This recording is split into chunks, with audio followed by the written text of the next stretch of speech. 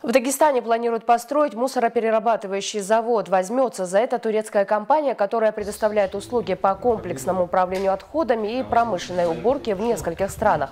Глава Кабинета министров региона Артем Сдунов встретился с инвесторами из Турции. Поблагодарив их за визит, подчеркнул, что тема сбора, транспортировки, сортировки и переработки мусора актуальна для Дагестана. Это огромная отрасль экономики.